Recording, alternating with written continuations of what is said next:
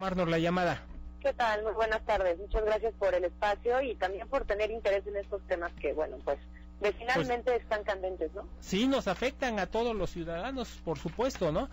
Eh, Laura Ballesteros, de esta propuesta que se hizo de 47 solicitudes y que aparentemente tú nos dirás cuánto efectivamente fue, eh, seis eh, fueron aprobadas.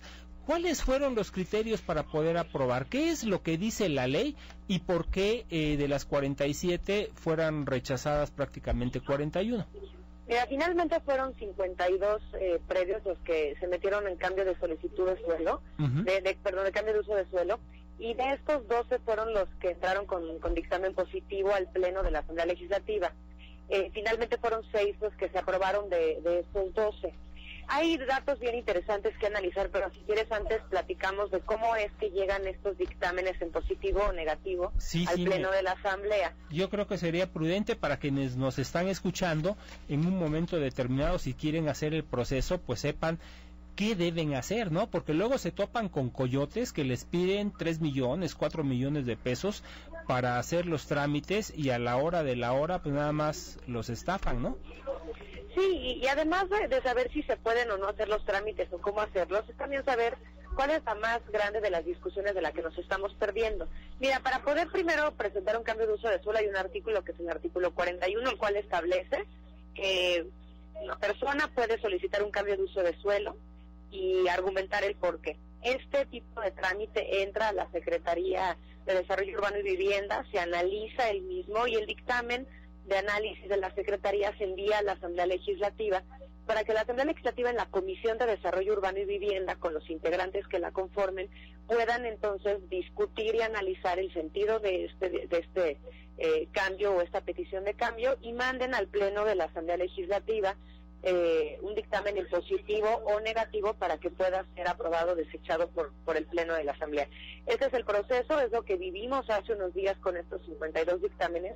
¿Y cuál es la más grande de las discusiones que se está perdiendo por no entrar de lleno al tema de desarrollo urbano en la ciudad?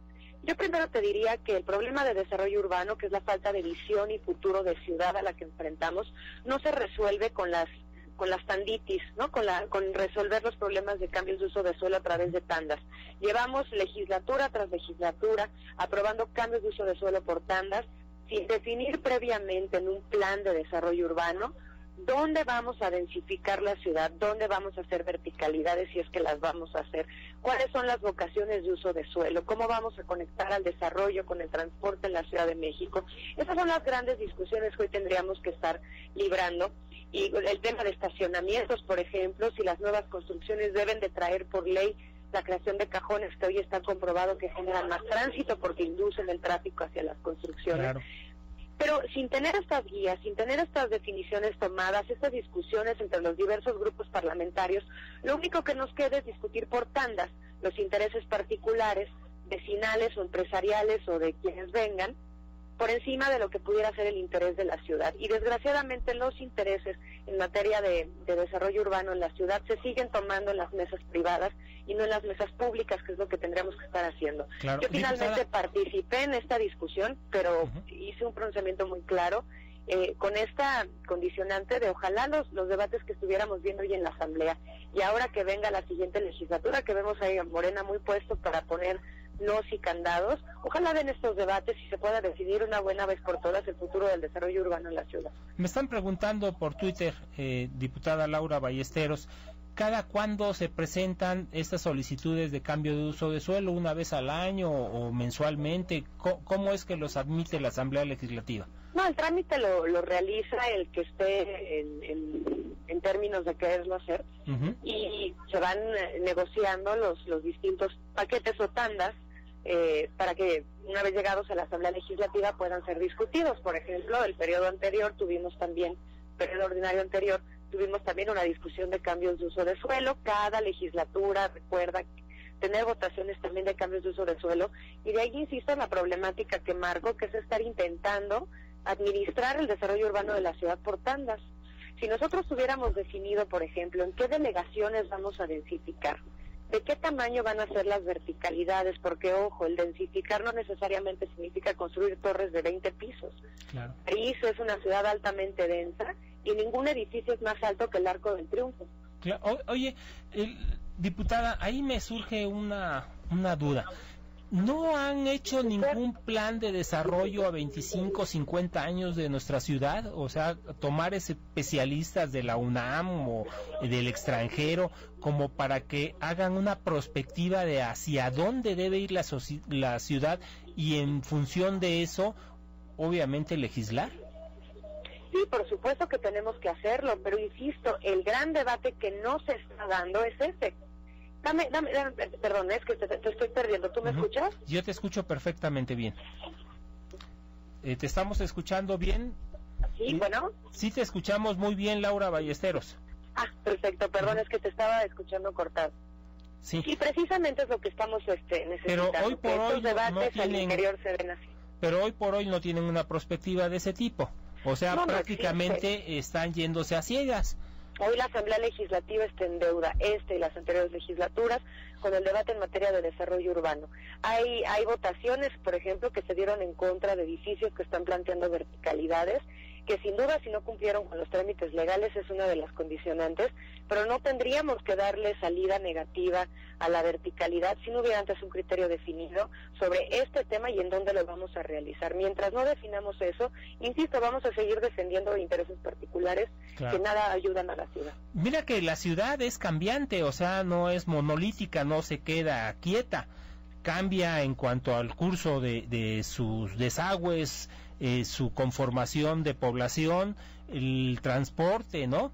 Y eh, hemos visto, por ejemplo, en la zona de Lomas de Chapultepec, Polanco, todos estos lugares donde eran unifamiliares, resulta que ya hay oficinas, eh, restaurantes, eh, oxos, comercios que están de manera, se puede decir, ilegal porque no tienen permiso de uso de suelo de ese tipo y están eh, obviamente trabajando amparados porque la misma norma se lo permiten.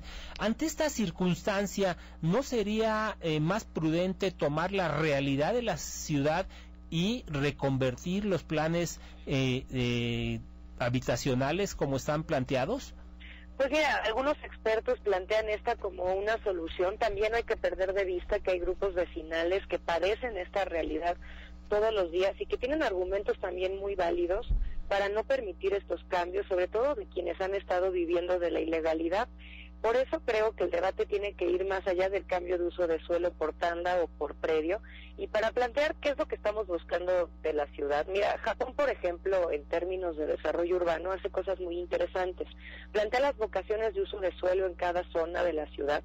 Cada zona va teniendo su propia vocación y del funcionamiento que pueda tener el propio uso de suelo, tienen, digamos que manga ancha para incluso hacer un antro si quieren al interior del cambio. No tienen especificaciones como tal en ello, pero sí las tienen de convivencia del predio con la comunidad. Entonces deben de tener especificaciones muy claras para que si hay algún tipo de sonido o de ruido, pueda tener la cobertura y la, y, la protección para que no se haga ruido en, los, en las afueras.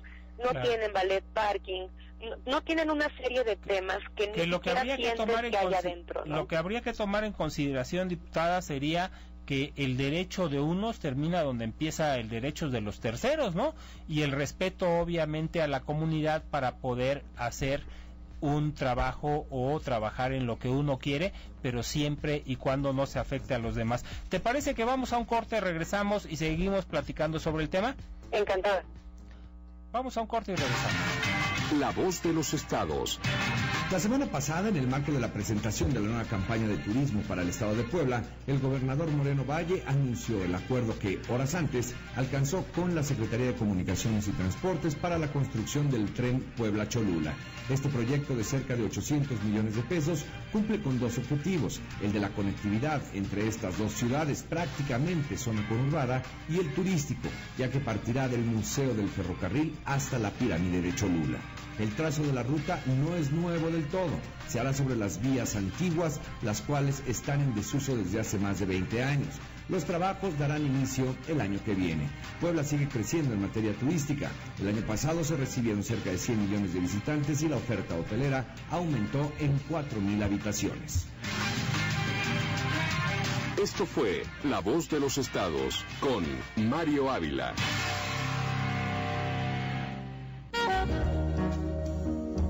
Visita Orfeón.com y conoce todo nuestro catálogo de música.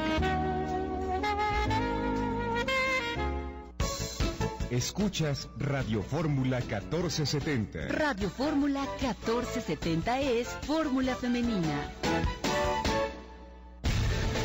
Transmitiendo a toda la República Mexicana. Grupo Fórmula. Tus mascotas forman parte de tu familia y de tu casa, pero ¿qué tal sus aromas? ¿Estás cansado de esconder el olor con todo tipo de sprays, inciensos, veladoras y lo que se te ponga enfrente? La solución es Animal Fresh, un eliminador eléctrico de olores que además deja tu casa entera con aroma a limpio. Animal Fresh no es un gasto, es una inversión por su larga duración y alcance. Animal Fresh de Ambi-Electric. Pídelo ya al 6274 7711 y 5211 7793. Oye, ¿cómo se dice llaves en inglés? Kiss. Úsalo en una frase. Kiss me. En este regreso a clases, si lo que pensaste no fue lo que dijiste, ven a Harmon Hall y aprende el mejor inglés. Llama al 01800-422-5292 o ingresa a harmonhall.com. Harmon Hall, con garantía de aprendizaje. México es uno de los 14 países más ricos del mundo, pero 53 millones de personas son pobres. La desigualdad se puede combatir. Únete a la campaña Iguales de Oxfam México y cambia las reglas. Exijamos soluciones para reducir la desigualdad en México. Firma ahora en cambialasreglas.org. Seguro. Ahora proteger tu patrimonio es muy fácil. Contrata en línea de manera inmediata un seguro para tu vehículo. Por tan solo 431 pesos anuales. Llama ahora al 01800 062 1707. Aplican tarjetas de crédito participantes. Continuamos en El Punto Crítico. Información útil para la toma de decisiones. Los teléfonos en cabina, si usted tiene algún comentario, 5524-7491, 5524-7492. Hoy tenemos boletos para Broadway a la sexta, musical eh, de gran sentimiento, hombres contra mujeres. Se está presentando en el Teatro Milán de la Ciudad de México. Hay que comunicarse, tenemos accesos dobles para que vayan a disfrutar el día de mañana martes. Diputada, buenas tardes. Saluda Juan Carlos Zárraga. Parece que se nos cortó la llamada. Estábamos platicando con la, la, licenciada Laura Ballesteros Mancilla, diputada independiente en la Asamblea Legislativa del Distrito Federal, con respecto a estos cambios de uso de suelo. Y le preguntábamos que eh, si no hay hoy por hoy un eh, plan integral para 25, 50 años de hacia dónde debe ir la ciudad. Y nos comentaba ella que no, desafortunadamente se maneja por paquetes y se va parchando la ciudad pues poco a poco, ¿no? Sí, los gobiernos perredistas no han planeado, simplemente han estado cada periodo de gobierno aprobando en paquete cambios de uso de suelo para este tratar de medio desarrollar la ciudad, pero eso es es este inadmisible, Eduardo. Y hay otro dato. La gente de Morena ha estado acusando que fue ilegal cómo se aprobaron los usos de suelo y amenazaron ya, amagaron que los van a echar para abajo. O sea, los nuevos morenos los en nuevos la morenos. Legislativa del Distrito Federal, pero ¿por qué no les dan si- los votos? Pero ¿por qué si aparentemente, eh, de acuerdo a lo que nos estaba diciendo Laura Ballesteros, de 47 o de 52 solicitudes que se hicieron, nada más aprobaron 6 que sí cumplían con todos los requisitos? ¿Qué es lo que dicen los morenos? Los de Morena lo que están diciendo es que la discusión y aprobación debe ser en un periodo ordinario y que debe estar precedida por dos periodos ordinarios en la Asamblea Legislativa. Yo creo que a los señores de Morena les hace falta un curso muy express de conocer las leyes del Distrito Federal y de interpretarlas correctamente.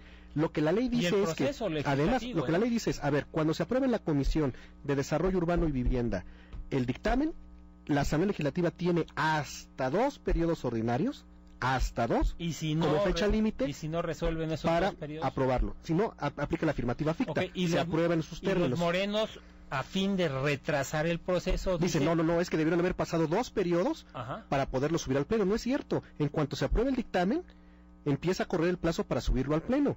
Y el entonces- plazo perentorio, La clave está en que dice hasta dos periodos Hasta para dos. cumplirlo con lo que se te está pidiendo así autoridad. es, así es, de que lo dictaminas tienes hasta dos periodos para que lo subas al pleno y lo apruebes.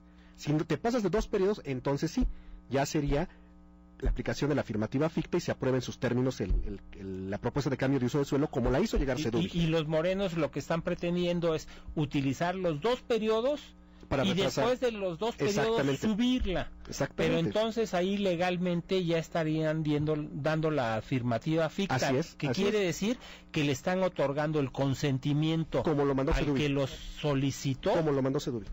Para que haga las cosas. Bueno, ese es por un lado y por el otro lado, pues no les da como mayoría. No, no, no les da lo que te comentaba Eduardo. Digo, tiene 22 diputados ahorita Morena, no les da para ellos solitos aprobar nada. Oye, pero Entonces, ¿cómo le la van a soberbia de Martí Batres se va a tener que ir abajo. Es, es lo que no me explico. ¿Cómo le van a hacer después de haber dicho que el PAN es una porquería, el PRI es una porquería, todos los demás son una porquería y que ellos nada más son, Ellos son los ungidos la por los dioses. la palabra de Dios? ¿Qué es lo que van a hacer ahora? ¿Van a dar a torcer su manita? No, yo creo que lo que va a estar haciendo la fracción parlamentaria de Morena es estar siendo una oposición al gobierno de Miguel Ángel Mancera, una oposición ácida, donde nada más va a estar descalificando y no va a haber propuesta. Y van a decir, nosotros propusimos, pero lo votaron en contra. Oye, Propusimos y, y lo a, votaron a en contra. billetazo limpio no podrían comprar. Bueno, a por billetazo ejemplo, limpio se vio- Comprar a los otros diputados que, que en un momento determinado se van por la lana y cambian de un partido para Pero otro. imagínate cuántos tendrían que convencer, mínimo 14 para que tuvieran la mayoría absoluta, se ve muy complicado. Sí, Y a pero billetazo López limpio, digo, tiene la Ah, no, lana. pues claro, a billetazo limpio se vio que soltó este Morena dinero en Iztapalapa y en Gustavo Madero para tratar de ganar las elecciones y Para no la les alcanzó. votos, ¿no? Y recordarás que aquí en el punto crítico comentamos de los 22 millones de pesos que tuvo Morena como asociación civil antes de ser partido, que se, que se gastó 21 millones López Obrador. Nada más, Bueno, ahí están las, que, que te voy a decir que en el spot este que sacó Andrés Manuel López Obrador dice que no hubo compra de votos. Sin embargo, pues nosotros tenemos testimonio de mucha gente que dice que pues, le dieron, ¿no? Bueno, pues este, si López Obrador manda al diablo las instituciones, ¿qué puedes esperar de una persona así? Bueno, vámonos, vámonos a economía y finanzas. Economía y finanzas. Con Lorenzo Martínez Vargas. Bueno, el tipo de cambio reflejó las presiones que se observaron en los mercados globales al inicio de la semana pasada. La cotización llegó a registrar máximos superiores a los 15.85 pesos por dólar. El trading en el tipo de cambio resultó particularmente volátil y no se pudo registrar una baja a pesar de la distensión observada el viernes. El tipo de cambio cerró la semana cerca de los 15.70 pesos por dólar. Consideramos que la volatilidad de las monedas emergentes como nuestro país continuará ante la situación de Grecia y ahora los movimientos en los mercados de China que pudieran sugerir un menor